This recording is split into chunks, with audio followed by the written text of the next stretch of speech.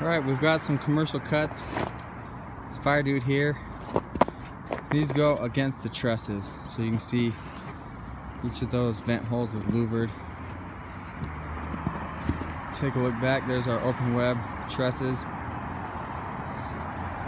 Commercial roof. And then coming over here, this is like a big trench cut going with the trusses. You can see the open web truss, open web truss on the other side.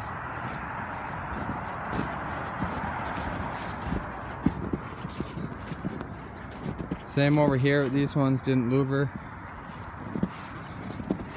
against the trusses.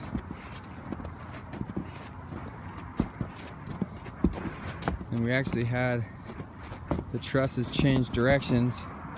So now this is again with the trusses some 2 by 12 That was louvered, but we pushed it in. Now we're back with the open web trusses. These had the 2x4s going across for supports and also some metal tubing when they installed them.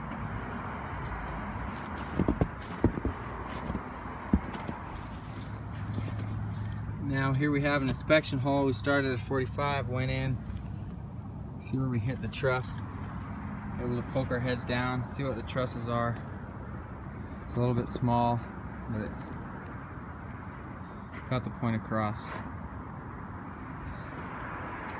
Once again, against the trusses, have to roll all those, make a head cut across each way so this louver Another possible option for our vertical vent, punch out the skylight, but if you needed to close up the hole, then you don't have to have the option to do so like you do if you have the louvers like we did on the first part of this video.